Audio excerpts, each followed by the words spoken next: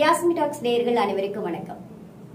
உலக சினிமா இதுவரைக்கும் இஸ்லாமியர்களை தீவிரவாதிகளாகவும் கிறிஸ்டியன்களை ஐட்டம் டான்ஸ் ஆடுபவர்களாகவும் தலித்துகளை அமாவாசையாகவும் சப்பானியாகவும் முக்குளத்திற்களை ரவுடிகளாகவும் திருடர்களாகவும் வடசென்னை மக்கள்ல பொறுக்கிகளாகவும் கெட்ட வார்த்தை பேசக்கூடிய நபர்களாகவும் காட்சிப்படுத்தி காட்டியாச்சு. அமெரிக்க சினிமாவில் அமெரிக்கர்லாம் உத்தமர்களாகவும் ரஷ்யா சீனா இவங்கெல்லாம் உலகத்தையே அழிக்க வந்தது மாதிரியும் ஆயிரத்தி தொள்ளாயிரத்தி எழுபது வரைக்கும் இந்த மாதிரி கதைகள் வந்து சித்தரித்து காட்டிட்டு இருந்தாங்க. அப்புறம் ஆயிரத்தி தொள்ளாயிரத்தி எழுபதுக்கு பிறகு வளைகுடா நாடுகளில் எண்ணெய் கண்டுபிடிக்கப்பட்டது? அப்போ அமெரிக்கா வளைகுடா நாடு பக்கம் கவனம் செலுத்தினுச்சு. பிறகு இஸ்லாமியர்களே ஒரு தீவிரவாதியாக சித்தரித்து காட்டப்பட்டுட்டு இருந்தாங்க. அப்புறம் ஆயிரத்தி தொள்ளாயிரத்தி தொண்ணூற்றி ரெண்டில் பாபர் மஸ்தி இடிக்கப்பட்டது. அதுக்கப்புறம் தான் தான் எதிரிகளாக இஸ்லாமியர்களை ஒரு தீவிரவாதிகளாகவே காட்சிப்படுத்தி காட்டிட்டு இருந்தாங்க. இது மாதிரி படம் ஏகப்பட்ட படம் நம்ம தமிழ் சினிமாலேயே பார்த்துட்டோம். ஒன்றில் ரெண்டு இல்லை ஏகப்பட்டது விஜயகாந்தில் ஆரம்பித்து ஆரம்பிச்சு கமலஹாசன் வரைக்கும் பார்த்தாச்சு. விஜயில் ஆரம்பிச்சு சூர்யா வரைக்கும் கூட பார்த்தாச்சு. ஸோ ஒரு இஸ்லாமியர்களை தீவிரவாதிகளாகவே இப்படி சித்தரிச்சு காட்டியாச்சு. இப்போ ரஞ்சித் டைரக்ஷனில் இரண்டாம் உலக போர் கடைசி குண்டு படத்துல ஒரு காயலாங்கடை பாய் கூட ஒரு ஒரு காயலாங்கடை முதலாளி ஒரு பாயா இருப்பாரு. அவரு வந்து சாமி கும்பிடுவாராம் இது எந்த ஊர்ல உள்ள பாய் வந்து சாமி கும்பிடுவான்றது எனக்கு இன்னும் தெரியல. ஸோ இந்த மாதிரி முற்போக்கு பேசக்கூடியவங்க கூட இந்த மாதிரி படங்கள்லாம் வந்து எடுக்க ஆரம்பிச்சிட்டாங்க. ராஜமோகன் தயாரிச்ச ஜிப்சி அப்படின்ற ஒரு படத்துல ஒரு இஸ்லாமியர் அப்பா ஒரு கொடுமையான அப்பாவை சித்தரிச்சு காட்டியிருப்பாங்க. இந்த கொடுமை தாங்க முடியாம அவங்க வீட்டில் இருக்கக்கூடிய அந்த பொண்ணு வீட்டை விட்டு வெளியில ஓடி போயிரு ஒரு குதிரை வச்சிருக்கனோட இது போலதான் முற்போக்குவாதிகளும் படம் எடுத்திருக்காங்க. இதுவரைக்கும் சினிமாவுல இஸ்லாமியர்களுக்கு எதிராக காட்டப்பட்ட ஒரு சினிமா இப்போ இலங்கை தமிழர்கள் மேல் ஒரு வெறுப்பும் ஒரு சந்தேகமும் வர மாதிரி எடுத்து வச்சிருக்கிற இந்த ஒன்பது எபிசோடு கொண்ட இந்த டிராமா தான் இந்த family man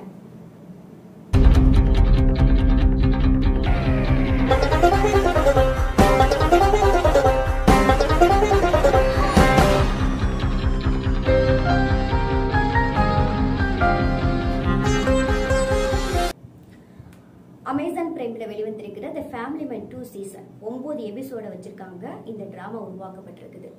north Sri Lanka Mumbai London Chennai இந்த மாதிரி இடங்கள்ல கதை சித்தரிக்கப்பட்டதா காமிச்சிருக்காங்க. பெரும்பாலான கதை வந்து சென்னையில் எடுக்கப்பட்ட கதை மாதிரி தான் இருக்கு. ஆனா எபிசோடுக்கு எபிசோடு ஒவ்வொரு எபிசோடுக்கு இது கற்பனை கலந்த கதை கற்பனை கலந்த கதைன்னு சொல்லியிருக்காங்க. ஆனா ஒவ்வொரு எபிசோடும் பார்க்கும்போது இது கற்பனை மாதிரியே தெரியல. ஒவ்வொன்றும் வரலாற்றை மாற்றி சிதைச்சு உருவாக்கப்பட்ட கதையா தான் இருக்குது. இது ஒரு நபரை சார்ந்த கதை மட்டும் கிடையாது. ஒரு டைரக்டர் எடுத்த கதை மட்டும் கிடையாது. இவங்களுக்கு பின்னாடி ஒரு பெரிய ஒரு டீமே இருக்கு அப்படின்னு தான் சொல்லுவோம் இது ஒரு பக்கா பிளான் ஒரு டிராமா ஆரம்பிச்சோன்னே எவ்வளோ பெரிய ஒரு இயக்கம்? விடுதலை புலியோட இயக்கத்தோட தலைவனை வந்து மாற்றி பேரை வச்சு மாற்றி பேரை வச்சுட்டா அப்போ எங்களுக்கு தெரியாதா? மாவீரன் பிரபாகரனோட பேரை பாஸ்கரன் பேரை வச்சுட்டு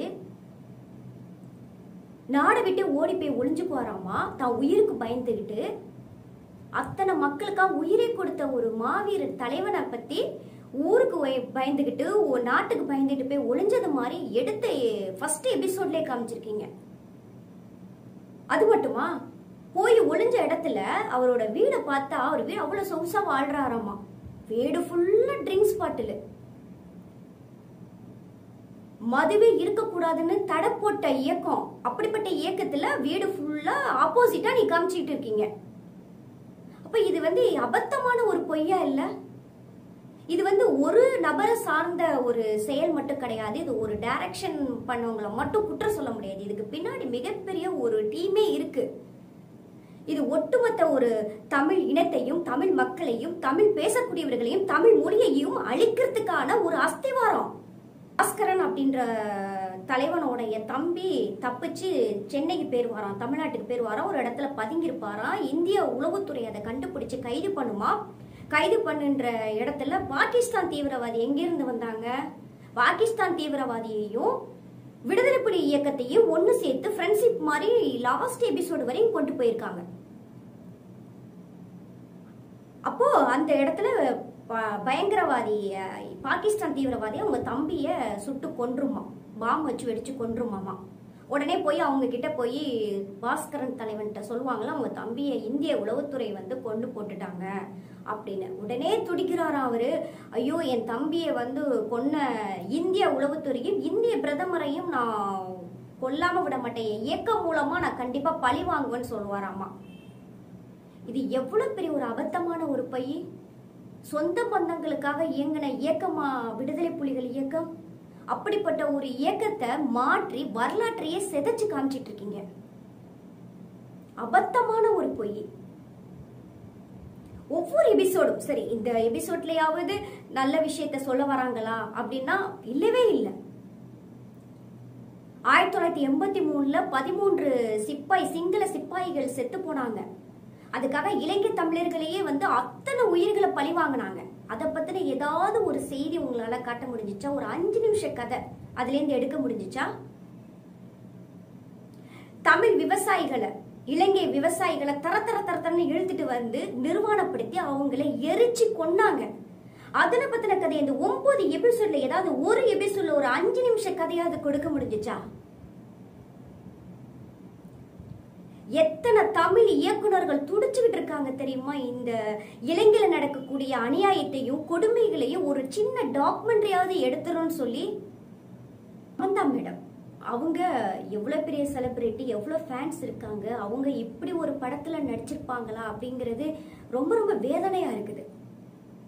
சென்னை தமிழ் பொண்ணு பல்லாவர பொண்ணு அப்படின்னு சொல்லிட்டு ஆந்திராவில் போய் இருந்துட்டா அவங்க அங்கேயே செட்டில் ஆயிடுவாங்களா?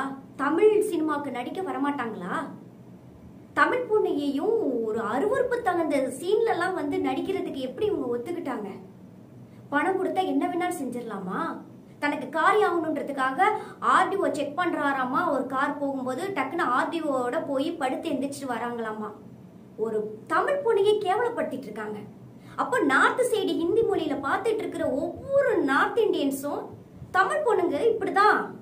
இலங்கை தமிழர்கள் இப்படிதான் அப்படின்னு மனசுல பதிய வச்சிருக்காங்க. இந்த டிராமா மூலமா தமிழ் பொண்ணை இழிவுபடுத்திருக்காங்க சரி சீசன் டூல தான் இப்படி அப்படின்னா சீசன் ஒன்லயும் இந்த ஃபேமிலி மேன் டூ ஒய்ஃபா வரக்கூடிய பிரியாமணி அவங்க தமிழ் பொண்ணை அந்த ஃபர்ஸ்ட் சீசன்லயே சித்தரிச்சிருக்காங்க. அந்த தமிழ் பொண்ணு ஒரு பாலியல் ரீதியாவே காமிச்சிருக்காங்க ஃபர்ஸ்ட் சீசன் ஃபுல் அப்ப தமிழ் பொண்ணு தான் இப்படித்தான் அப்படின்ற எல்லார் மனசுலயும் பதிய வைக்கிறதுக்காக இது ஒரு பக்கா பிளான் பண்ணி ஒரு டீமே ஒர்க் அவுட் பண்ணிருக்கீங்க. இது எவ்வளவு ஒரு அபத்தமான ஒரு குற்றம். ஒரு வரலாற்றை இப்படி மாத்தி கொடுக்கறது மட்டும் இல்லாம தமிழ் பொண்ணுங்களையும் இப்படி இழிவுபடுத்தி ஒவ்வொரு சீசனா இழிவுபடுத்தி இழிவுபடுத்தி காட்டுறதுக்கு வன்மத்துக்கும் என்ன காரணம்? எதுக்கு இந்த மாதிரி ஒரு வன்மம்? அதுக்கப்புறம் இன்னொரு விஷயத்தை இதுல உள்ள நுழைச்சிக்க சம்பந்தமே இல்லாத கதையா இருக்குது. உளவுத்துறை அதிகாரியா இருக்கக்கூடிய ஒரு ஸ்கூல் படிக்கிற ஒரு பொண்ணு பிராமணர் ஒரு பொண்ணு. இஸ்லாமிய இனத்தை சேர்ந்த ஒரு பையன். அவன் தீவிரவாதி இயக்கத்தை சேர்ந்தவனா காமிச்சிருக்கீங்க. அவன் எப்படி? சல்மான்ற பேர் உள்ளவன் கல்யாண் பேரை மாத்தி அந்த பொண்ணு கூட பழகி லவ் பண்ணி ஏமாத்தி கடத்திட்டு போய் சித்திரவதை பண்ணி கொடுமைப்படுத்துற மாதிரி காமிச்சிருக்கீங்க. இறுதியில அந்த பொண்ணு அந்த பையனை கொள்ள வேண்டிய சூழ்நிலைக்கு வந்துருது. உடனே அப்பா கிட்ட சொல்றா எப்பா எனக்கு வந்து நான் அந்த பையனை கொண்டுட்டேன் அம்மா நீ கொன்னது வந்து பையன் கிடையாது. நீ ஒரு தீவிரவாதியை கொண்டு இருக்க அப்படின்னு. எப்படி இது பழக்கம்? அப்படின்னு அவங்க ஃப்ரெண்ட்ஸுங்கள்ட்ட விசாரிக்க போகும்போது எப்படி என் பொண்ணு வந்து அந்த பையனோட பழக்கம்? அப்படின்னு அவங்க கூட படிக்கிற ஃப்ரெண்ட்ஸுக்கிட்ட விசாரிக்கும் போது அந்த பொண்ணு சொல்றது ஃபேஸ்புக் ட்விட்டர் இது மூலமா தான் கல்யாணம் தெரியும். அப்படின்னு அந்த பொண்ணு சொல்றான் இப்போ என்ன சொல்ல வரீங்க? அண்ணன் தம்பி மாதிரி பழகிட்டு இருக்கிற முஸ்லீம் இந்துக்களை இப்படி வன்மமாவா பிரிக்கணும் இந்த மாதிரி டிராமாலாம் கொடுத்து? இனிமேலுக்கு முஸ்லீம் பசங்களோட ஃபேஸ்புக்லயோ ட்விட்டர்லயே வந்து பழக்கம் வச்சுக்காதீங்க. முஸ்லீம் பசங்களோடயே பேசாதீங்க. இஸ்லாமியர்களே ஒரு தீவிரவாதிகள் அப்படின்னு எவ்வளவு ஒரு அபத்தமான ஒரு குற்றத்தை முன் வைக்கிறீங்க இந்த வீடியோ மூலம் நான் சொல்ல விரும்புவது என்னன்னா இந்த மாதிரி டிராமாக்கெல்லாம் நம்ம சப்போர்ட் பண்ணோம் அப்படின்னா இது போல ஆயிரம் கதைகள் உருவாக்குறதுக்கு நிறைய வாய்ப்பு நாமளே கொடுத்த மாதிரி இருக்கும். இந்த மாதிரி கதைகள் எடுக்க ஆரம்பிச்சிட்டாங்க அப்படின்னா தமிழ் பொண்ணுங்க எங்கேயுமே போக முடியாது. நாடு விட்டு நாடு போய் படிக்க முடியாது. நாடு விட்டு நாடு போய் ஊர் விட்டு ஊர் போய் கூட வேலை பார்க்க முடியாது. எப்போதுமே தமிழ் பொண்ணுங்களை ஒரு இழிவாகவும் கேவலமாகவும் பார்க்கக்கூடிய அளவுக்கு உருவாக்கப்பட்டுருவாங்க. தயவு செய்து இதை புறக்கணிக்கணும். எப்படியாவது புறக்கணிக்கணும். அமேசான் பிரைமுக்கு உங்களால முடிஞ்ச அளவுக்கு மெயில் அனுப்புங்க. கோடிக்கணக்கான பேர் மெயில் அனுப்பும்போது கண்டிப்பா இதுக்கு எதிர்ப்பு போகும். இந்த மாதிரி டிராமாலாம் வெளிவராமல் இருக்கிறதுக்கு மிகப்பெரிய ஒரு தடையா இருக்கும். நம்மளால முடிஞ்சது என்ன அளவுக்கு செய்ய முடியுமோ அதை செய்வோம். நன்றி. நான் அடுத்த வீடியோல சந்திக்கிறேன்.